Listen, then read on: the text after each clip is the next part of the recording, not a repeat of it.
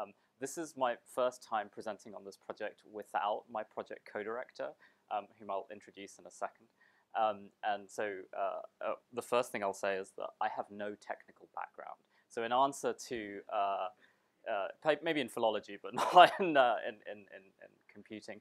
So partly in answer to, to, to, Tom's question about digital humanities, I'm going to be quite evasive um, and say that uh, I work on a project that's computational. Um, and I believe it falls under the purview of the digital humanities. But I'm not actually going to talk about the digital humanities in any capacious sense um, in the next uh, 40 minutes. Um, this is my project co-director. As you can see from his, um, uh, his PhD, he's a biologist. And you might be wondering, what on earth does a Latinist have to do with a biologist? Um, and I'm actually not going to answer that question now. I'm going to come back to it later. Um, and the story of our collaboration and its origin is also interesting from a pedagogical perspective and is relevant to some of the things I'm going to be talking about. And don't worry, I won't keep you hanging on that as well. I'll, I'll tell you about that too. Um, if you do have questions about the technical side of the project, the code underlying the tools, um, the biological models that we employ, please don't feel that you can't ask. I'll just forward the questions to Joseph um, and he will give you an answer, rather than me garbling what is no doubt um, you know, a complicated and important question. So, uh, intertextuality is probably a familiar topic to many of you, um, but I did want to just provide you with a definition from uh, the person who's most closely associated with um, the term and who invented the term, Julia Kristeva, the Bulgarian-French critic and semiotician. Um, and I picked this quote in particular uh, which is translated, any text is constructed as a mosaic of quotations. Any text is the absorption and transformation of another, primarily because of this word mosaic, actually. Um, and again, you'll see why that word uh, mosaic is important. Um, and intertextuality has really been the bedrock of criticism in Latin literature for, uh, I mean, I would say principally from about the uh, mid-80s onwards, um, associated in particular in the US with the work of people like Richard Thomas uh, and Stephen Hinds, uh, and in Italy with Gian Biagio Conte.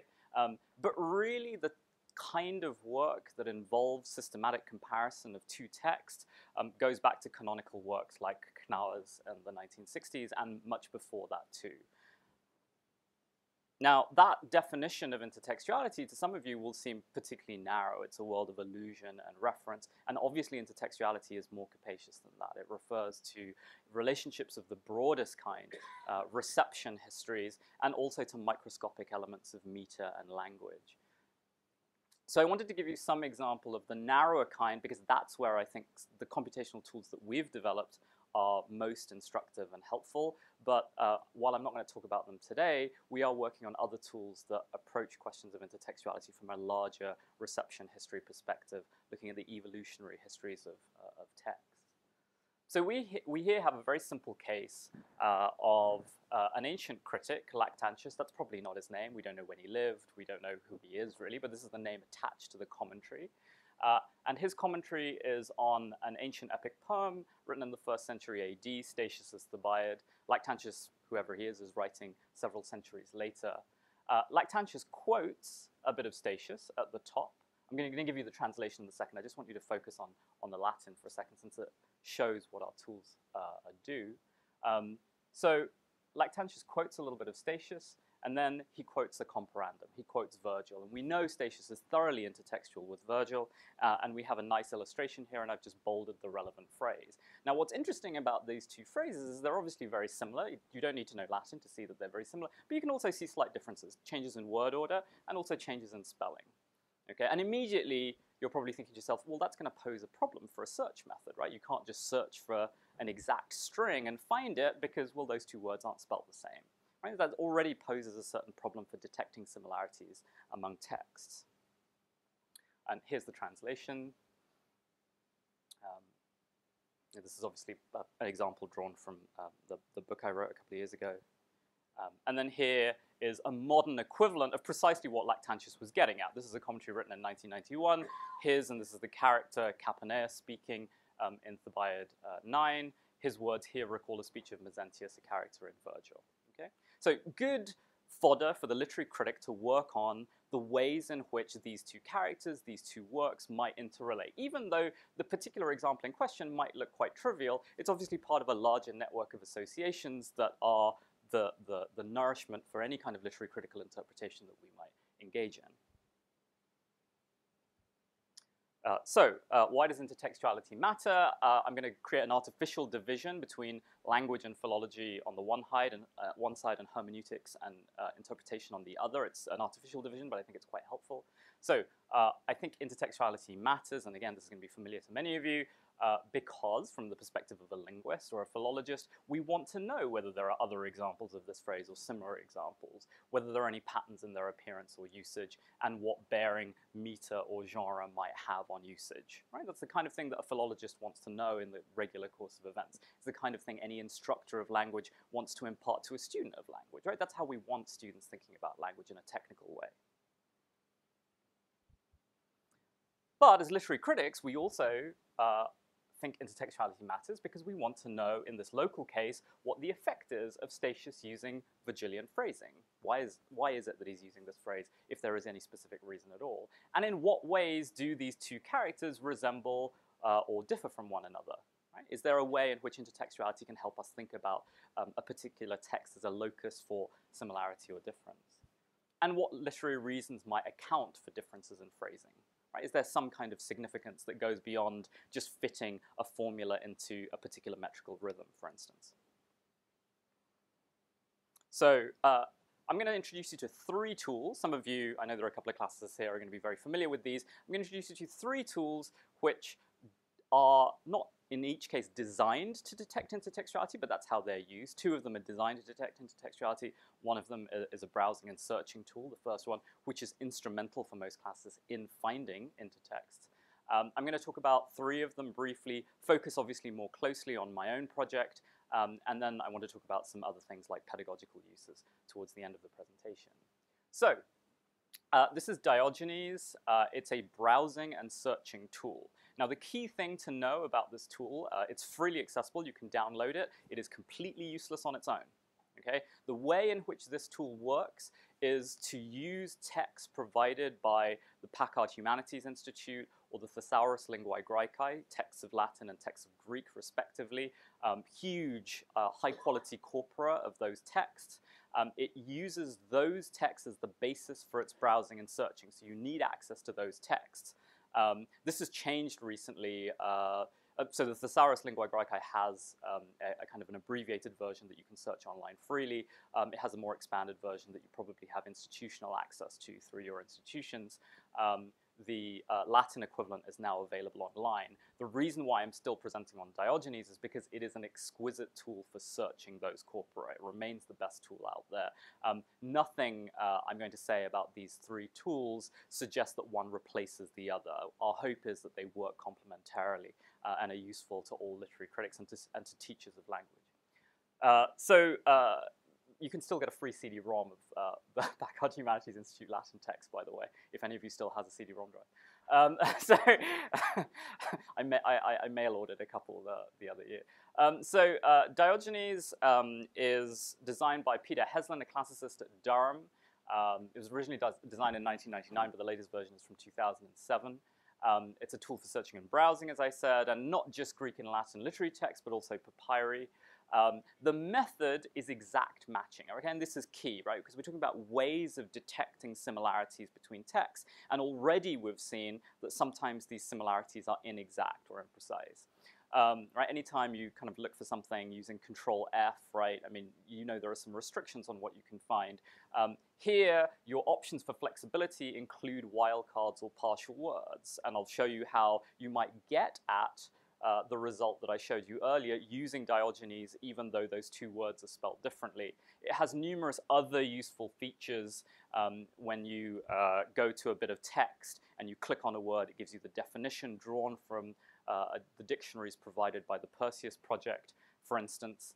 Um, and there are various other features that are really very useful. And it's routinely used by classicists, many of whom, like me, have no particular technical background. And I cannot emphasize enough how important that is. Any kind of intimidation in the technical um, ability required to use a tool renders it completely useless, basically, um, even if the tool is quite useful um, in itself. This is routinely used by classicists, which is great.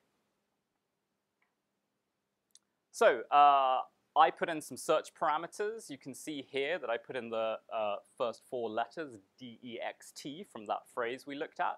Um, I put in square brackets E-R, so it would search for D-E-X-T-E or D-E-X-T-R to encompass both possibilities. To be honest, I could have just left that out and just wrote, written D-E-X-T and it would have been fine. And I wrote the word uh, for me, mihi, um, and uh, I said find these two words within a phrase in a pre-selected corpus of five epics and ten tragedies. So that's pretty sizable. I mean, we're talking about many thousand lines uh, of Latin. I mean, sure, it's not like searching Google Books or something like that, but we're talking about really targeted searches here. Um, and I picked this um, set of texts because it forms the uh, test corpus for our own project as well. So I wanted to use the same, uh, the same search corpus. Um, the results the results come almost immediately. I mean, one of the great things about Diogenes, because it's doing exact searching, is that the results appear very fast. Um, there were 20 results, and you can immediately see here the result that uh, we were interested from book nine. Um, and you can see that it captures both forms. Right, so it's a really great tool. Uh, you can just click on the context and get access to the, uh, the, the, passage from which the verse appears, or prose. Um, it gives you very clearly the line reference. Um, and as I said, because it's based on these databases of high quality text, right, that's kind of a big deal in classics, right? Our texts aren't all of the same quality. Um, we have access to a lot of text through things like the Latin Library, for instance, but a lot of those are free texts, right, out of copyright. Um, sometimes there are uh, typographical errors, and the quality of that text matters hugely um, both for just getting the text right and not having um, garbled information as a researcher, but it's also difficult for students if they're confronted with text where they, there's a mistake in the text or there's something funny about it that hasn't been um, corrected by an editor. Um, so it's great that it's able to use these high quality texts. There are some developments in that area that I can talk about in the Q&A um, that probably gonna, aren't going to come online for a few years, but there are some developments in the area to make higher quality text accessible to um, the general public freely. So uh, that's tool number one, Diogenes, which has been around, as I said, from 1999, although probably it's only been used uh, a good deal from the early 2000s. In 2008, um, a project uh, began at SUNY Buffalo, led by Neil Coffee, um, again a classicist, uh, and uh, Tesserae uh, means mosaic, um, or mosaic tiles, and you can see the logo uh, is made up of mosaic tiles, hence why I chose that particular quotation from uh, Kristeva, right? They're drawing on uh, Kristeva's image of the mosaic, uh, and this tool is designed precisely to detect intertextuality. Now, uh, I talked about intimidation, right? Looking at um, a, a, an interface for a tool and how it can be off-putting. Um, and actually, I deliberately put this up because it is a little off-putting. This is not their launch page. What I've done is I've shown you the advanced features, which are fantastic. It's really good to have these features, but I just wanted to just put in your mind the thought, well, I as a user, and it doesn't really matter whether you work in Latin or Arabic or whatever, because part of the point of this presentation is to show what we do in Latin uh, or in Greek, right? And for you to think about maybe how you might incorporate similar tools um, in your own instruction in your own languages. Um, I hope that's one of the outcomes of today, that we think about the different tools that are employed in different languages and how we might um, collaborate and export them. Well, if you face something like this, and you weren't very technically or linguistically minded, you might actually just be put off. So they've done a very clever thing, which is that their launch page actually just, just causes all of this to disappear, or just doesn't show it to begin with. And you have to actively reveal it. So what you have is uh, just these six boxes at the top. And here's where Tesserae's insight is, uh, um, is, is fantastic. So Tesserae uh, decided instead of targeted queries where you input a particular phrase that you're looking for, they decided why don't we just have global comparison of two texts? So what you're interested in is not this particular phrase in Statius or in Virgil, but I'm just interested in Statius and Virgil and their interrelationship generally. So how am I going to find the intertext between these two works? So uh, what you put in is a target text and a source text, and it, uh, the program, uh, will focus on two-word phrases. So the, the intuition is that two-word phrases, um, whether relatively banal ones like mihi dextra, my right hand, or less banal ones, um, that those two-word phrases are the core of intertextual elusive uh, or referential language. Um, and so it, uh, the program will uh, show you all common two-word phrases and, this is the important next step, it has a scoring system to identify intertexts of greatest interest. And it does that um, by ranking uh, the phrases according to the relative infrequency of terms because you're going to be more interested in two-word phrases where the terms are rarer rather than having words like me or um, you know verbs like be in them. You're going to be interested in more substantive um, uh, and uh, rarer uh, language or diction. Uh, and there are several experimental tools in addition to the core um, intralingual search. So there are some cross-linguistic um, search tools uh, which are experimental. Um, and we can talk a little bit about that at the end of the presentation as well. Um, and the great thing about Tesserae is that they have a very quantitative, systematic approach to evaluating their tools. They have very impressive benchmarks for the discovery of meaningful intertext. The work was published uh, in the Transactions of the American Philological Association in 2012 um, with a, a, partner piece uh, in what was then uh, Literary and Linguistic Computing, also in 2012, um, on the underlying um, technical aspects. Um, and what they showed was that you could recover a lot of the references that we see in scholarly commentaries, you could recover them using this tool. Um, now, this is what Tesserae output looks like. I don't want you to read the individual words. I know it's very small. I just want you to get a quick visual picture of what the output looks like. Um, there are numbers that I took off the side, starting with one and just going down, but the important thing is you have the reference uh, in your target text, the reference in your source text, and you can clearly see uh, the, the line in question highlighted in red, the um, etymological uh, or linguistic similarities, um, the particular words um, in the two-word phrase um, are set aside here, um, and then there's the score based on the metric of the relative infrequency of the word. It's also based on a distance metric, i.e. words that are closer together in a phrase, so it's treated more as a, as a tight unit, score more highly where the, the, than cases where the two words are further apart. Now, um, there's uh, an obvious problem with this, um, which uh, they very much take account of, which is that you generate an awful lot of results. If you look at the top there, I, you probably can't make it out at the back, but there are 828 results just for a comparison of, this isn't the whole work, this is just of book 9 of the Thebaid and book 10 of the Aeneid. Right? That's a huge amount of data to plow through. Now the scoring method certainly helps in that it reduces, you can presumably just not look at anything below a 6, um, and in the advanced search feature, there's an option to just not look at um, anything below six, seven, eight, or 9. Um, but nevertheless, you're going to get a lot of information. Um, and plowing through that is going to require some expertise in the language yourself, right? This is not a tool for amateurs. Now, because of the nature of the intertexts that are identified, you're also going to get things that aren't very significant. Um, one of the things that Tesserae has done very well is to explain the difference between, uh, and I know that literary theorists have been doing this for a long time, but it's very useful to see this in the context of a, um, a digital humanities discussion, the difference between meaningfulness and significance, literary significance. So what we get in a lot of these cases are meaningful comparanda, right? Phrases that are similar in some way that as philologists or linguists or people who are interested in commentary or people who are interested in teaching students about similarities and uh, what have been referred to as code models. Um, so language that's generically similar but not necessarily significantly similar for a literary critic. Um, Tesserae have been very good at explaining how this tool is very effective at giving you those code models in a systematic way.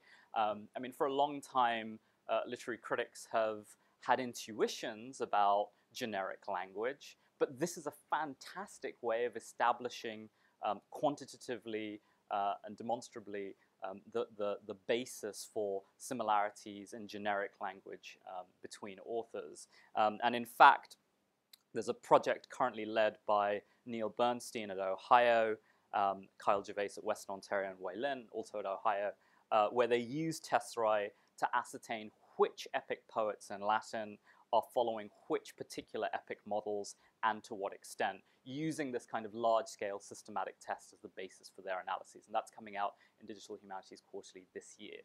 Um, I think it's forthcoming in the next month or so. So, uh, this is a very brief account of um, strengths. Um, it takes account of semantics, by the way, as well as morphology, although that's not immediately clear from these examples. That was a recent addition in 2015. So um, it looks at the definitions of the words in English. Um, and so even when there isn't necessarily um, a direct Latin etymological equivalent between two words, um, the semantic uh, equivalency between them uh, will cause them to score more highly. Um, and the processing time is fast. It's not as fast as Diogenes, right? For obvious reasons because of the number of calculations required, but it's still pretty fast. And again, that's important. I mean, it sounds trivial, but I mean, all of you have sat in front of a computer and attempted to, you know, load something or use a tool, and it's very off-putting if something isn't, isn't, isn't, isn't rapid.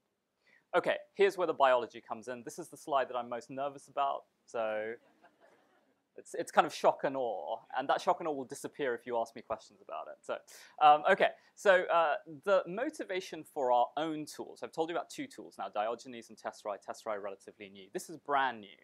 Um, in fact, our first interface um, is not yet publicly available, although it is available by arrangement. If you want to play around with this tool, um, then just ask me and I'll give you the password and you're welcome to use the website and play around with it. It's so new that we face the typical problems that you know people who create new tools do. The server crashes, you know, I have to phone system admins and say, please help, you know, someone's trying to access the tool. Um, and they've been extremely helpful in, in, in, in addressing any problems. Um, our method is based on something called sequence alignment. And sequence alignment um, is a technique used in uh, biology and computational biology and systems biology um, for highlighting regions of conservation and dissimilarity in a protein.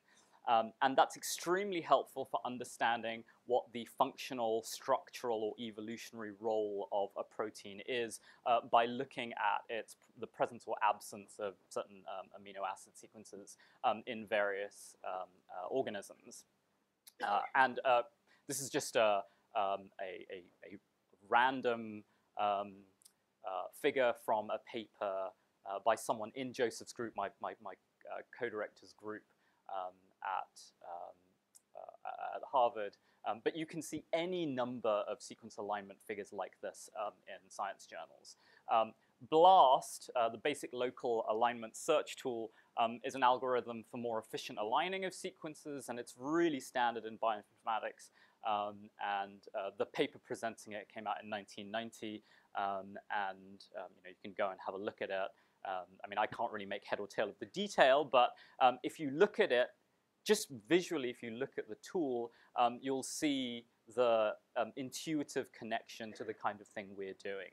Uh, now, sequence alignment has been used for language. It has been used in natural language processing um, for text reuse um, and plagiarism detection. There's a really great paper um, by Olsen. Carl, I don't know whether you know this, because it's actually based on a French corpus, um, and uh, it looks uh, for sequences, obviously, sequences of words that match from one text to another. Um, I mean, one could say, well, you know, our motive, uh, our inspiration comes from the natural pro language processing um, origin, but actually that's just not the case because I just happen to work with a biologist, so actually it does in fact come from the, the original biological um, uh, instantiation of the technique. So here's the core difference about what we're doing. We're not looking at sequence alignment of words. We're looking at sequence alignment of characters. And as far as we're aware, that hasn't been done before. Uh, and uh, for calculating the difference between two strings. Remember, we're looking for inexact matches, right? Exact matches are easy to find. What we're interested in is sequences of characters, i.e. words, that differ in some respect or other, but are not radically different, right? They're similar enough that they may be of literary significance.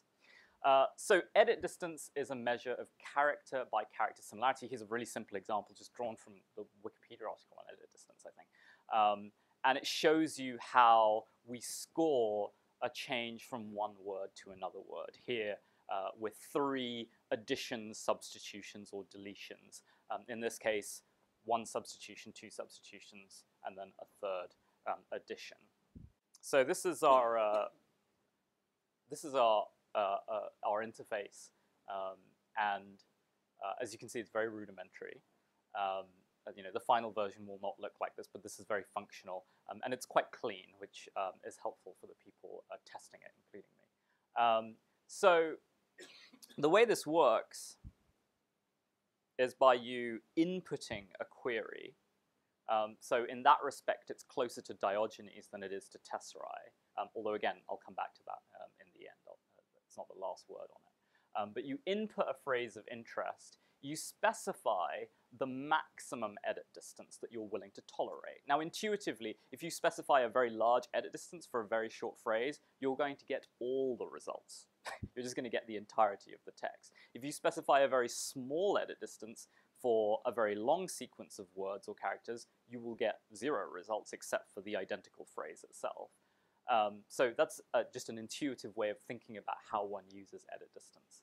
Um, we've recently added some new functionality, so uh, you can align either the whole phrase continuously, starting from the first letter and looking for all matches for every single letter in a line, or you can align each word separately in the query. So the program will look in a phrase like dextra mihi for every match starting with dextra, every match starting with mihi, um, and it, in, including any gaps between the words. So that's the number of words in range function.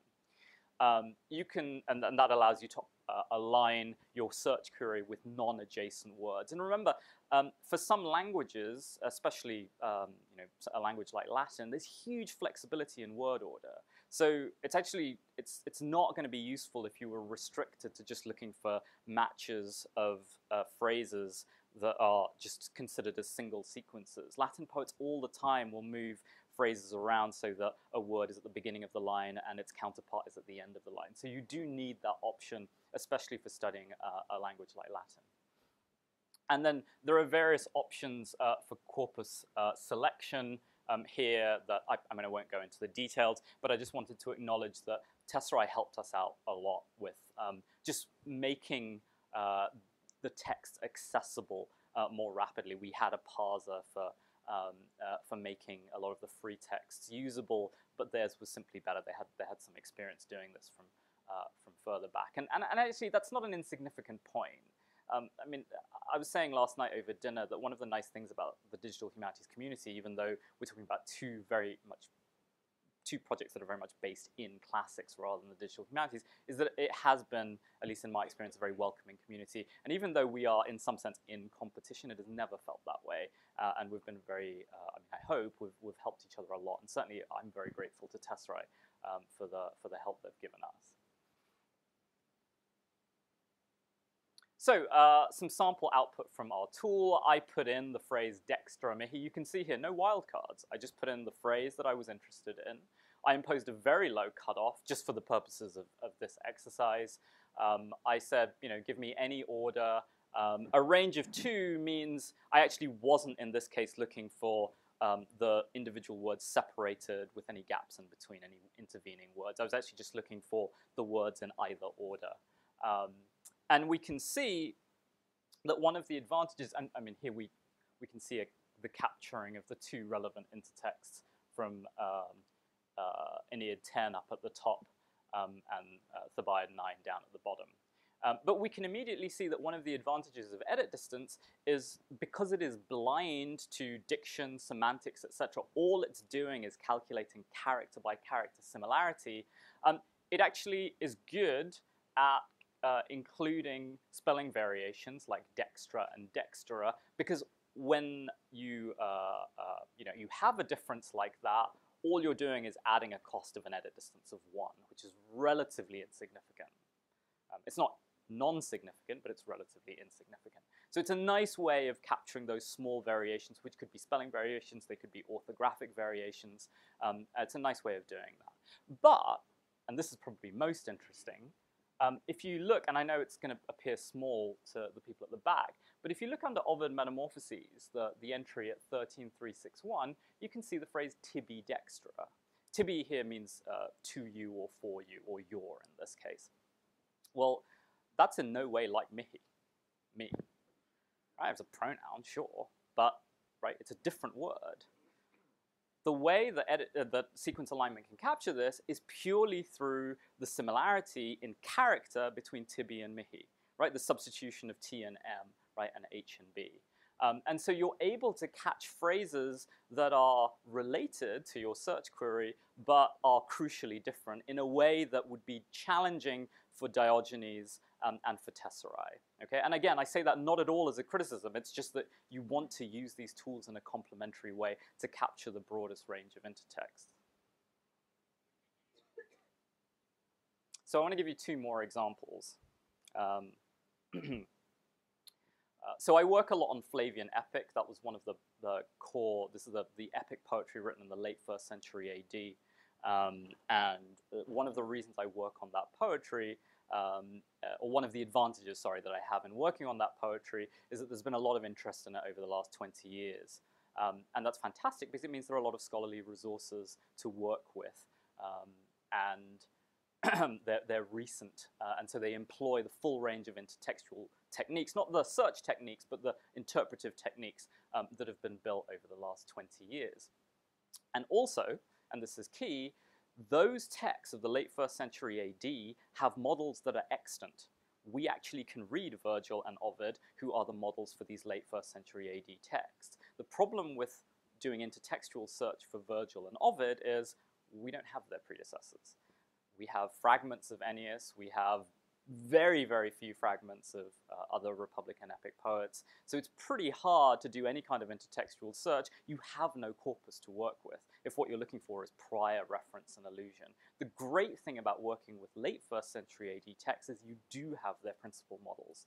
So especially if you're testing a method, you actually have scholarship that tells you what kinds of references and allusions there are, and you can measure your results against that scholarship. You just can't do that if you don't have an extant corpus to work with. Um, so it's a huge advantage in working with late first century um, AD epic. Um, so I put in a phrase from uh, this poem. Um, this is Silius Italicus's Punica, an epic on the, the, the, Second Punic War, the Hannibalic War. I put in this phrase, um, and uh, it's the same target corpus, the 15 works, 5 epics, uh, 10 tragedies. And we can see here this phrase in Virgil's Aeneid, which is a really famous phrase in Virgil's Aeneid where the goddess Juno says, if I can't turn the gods, then I will move hell. Um, and uh, this occurs in the middle of the Aeneid. Uh, and the phrase is acheronta movebo. The phrase that I put in is acheronta videbo. I will see Acheron, or I will see hell. Well, I will see and I will move have no kind of linguistic relationship to each other except in their morphology, their first person singular, future, um, active indicatives. That's the only thing that's similar about them. Okay? So again, most computational search techniques are not going to be able to give you that parallel, and it's a clear parallel for reasons that I won't go into. Um, but this technique will give that to you because the edit distance cost of getting from videbo to movebo is very small. It's only three. All you need to do is change those first three letters. And you're starting to get a sense of the, the compositional technique of a poet here, right? So the poet has a phrase in mind, there's a desire to alter the phrase, right, to generate new meaning. You alter the phrase in some way where it's recognizably elusive to a prior model, right, enough so the reader gets some satisfaction from it, from identifying it, gets some meaning from the relationship between these two texts. Um, but nevertheless, there is this there is this key difference there, um, and sequence alignment provides you a way uh, of detecting these uh, these intertexts. Um, now, you could say, well, you could you could, you could find this um, this intertext just by looking up the word acheron, because acheron can't be that um, can't be that uh, infrequent, and that's true. Uh, sorry, can't be that frequent. And that's true, right? It appears 27 times in this target corpus. You could look through 27 examples and you would find your parallel. Okay, so let me give you a slightly different example. So yeah, so uh, Movebo and Videbo, hourly similar, but semantically different. Uh, I couldn't give you the search parameters for this, but I uh, looked for a phrase commune nefas, a collective evil. These texts that really dwell on collective evil I mean, and, and hell. Um, but anyway, uh, so I, I, which is a really important programmatic phrase at the beginning of Lucan's poem on the Civil War, written just before um, uh, Italicus um, and Statius. So this is in the middle of the first century AD. Again, hugely intertextual with Virgil. Um, and I wanted to show you two interesting comparanda. So the phrase commune nefas that I looked for occurs, as you can see, just under Lucan bellum uh, Civile, uh, commune nefas 1 6. Um, and the two phrases, the two comparanda that I'm most interested in are one, the, uh, the direct, um, identical uh, uh, phrase in uh, Seneca's Thyestes, that's a tragedy by Lucan's uncle. So he's clearly getting this language from his uncle's writing. Um, but here's another interesting comparandum. Virgil's Aeneid um, in uh, a passage located in the underworld in Book 6, famous passage of the Aeneid, Immane Nefas, which refers to the worst possible crimes committed by the paradigmatic sinners in the underworld, so Tityos and Ixion, um, figures like Tantalus, figures like that. Um, uh, and what's interesting about commune nefas and immane nefas is precisely again that they are aurally similar, commune and immane, but in fact they bear no etymological relationship at all. Um, I think there's literary significance there. Lucan's very interested in putting um, hell very much on earth in the civil war fought between Caesar and Pompey, um, and uh, Lucan is thoroughly intertextual with Virgil systematically over the course of his poem. Um, but again, you're not going to find that intertext through conventional means. Sequence alignment allows you to detect it at a relatively low edit distance, um, showing you the aural similarity. Now, Nefas, unlike Acheron, occurs very, very frequently in these works because they're so concerned with wrongdoing and evil, and so you're going to have to go through 256 instances if you want to find these parallels. So now we're starting to see the benefit of sequence alignment as an efficiency uh, as an efficient method uh, of detecting um, intertextuality. Uh, we, like Tesserae, uh, have ongoing work to systematically validate the method.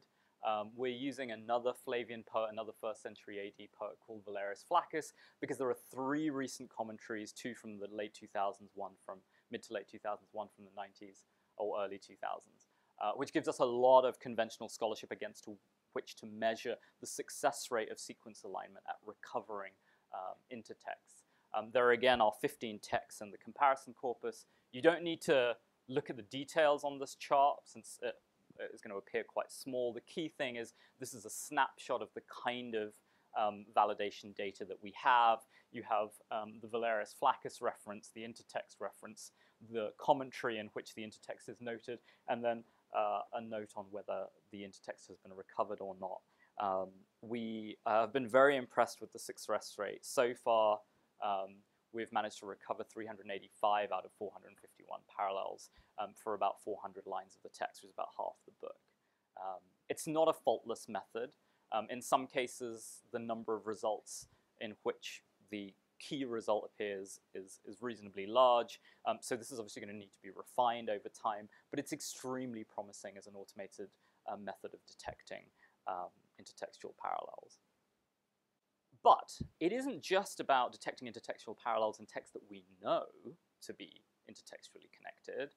These tools have to be helpful with new applications as well, as well. And this is in some ways the thing that I'm most excited about, and also the area in which I'm, I'm most ignorant. Um, you'll probably have some sense that classicists work on classic poetry, right, uh, or, or, or, prose, right? We work on the period of classical antiquity, um, broadly conceived.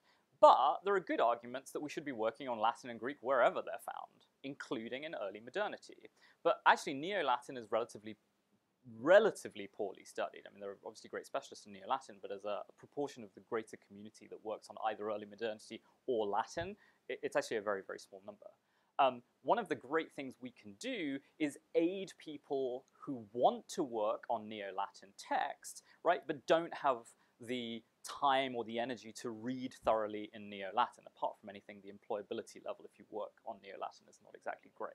Um, so uh, what we want to do is provide an option for uploading, and this is all very temporary, I mean, this is you know brand new, is providing an, an option for uploading a text file that has a Neo-Latin text it. Actually, Neo-Latin has a lot of uh, online text available.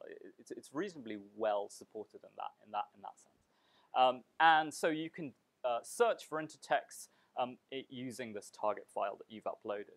Um, so uh, I took an example of a 15th century uh, play written by uh, this guy who's very young at the time, he's 18. Um, he then has this religious conversion where he says, I'm never going to write any Latin poetry again it's, uh, he doesn't explicitly say it, but it's very clear that he has a turning away from it as being somewhat corrupting.